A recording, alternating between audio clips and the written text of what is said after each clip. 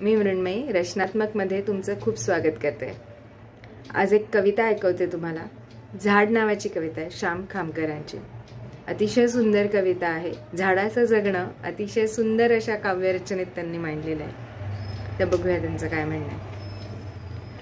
सोपं नसतं झाड होणं. सोपं नसतं झाड होणं मातीमध्ये रुजून येणं. एका एका श्वासासाठी आभाळाचं ऋण घेणं. सोपं नसतं झाड होणं सूर्य डोई घ्यावा लागतो तशात कोणी सावली मागतो. सूर्य डोई घ्यावा लागतो तशात कोणी सावली मागतो. बसेल त्याला झुळूक भर वारा सुद्धा द्यावा लागतो. बसेल त्याला झुळूक भर वारा सुद्धा द्यावा लागतो. सोपं नसतं मागेल त्याला मागेल ते देत जाणं. सोपं नसतं मागेल त्याला मागेल ते देत जाणं. सोपं नसतं झाड होणं. मातीमध्ये रुजून येणं. तळाखालच्या कातळाशी लढता येत नाही.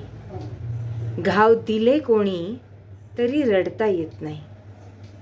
तळाकाडच्या कातळाशी लढता येत नाही. घाव दिले कोणी तरी रडता येत नाही.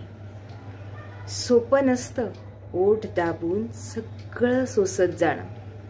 सोपं नसतं ओढ दाबून सगळं सोसत जाणं. सोपं नसतं झाड होणं. मातीमध्ये रुजून येणं. नव्यासाठी जुनं निमूट सांडून द्यावं लागतं. नव्यासाठी जुनं निमूट सांडून द्यावं लागतं. ऋतू ऋतू म्हणेल तसं जगून घ्यावं लागतं. ऋतू ऋतू म्हणेल तसं जगून घ्यावं लागतं.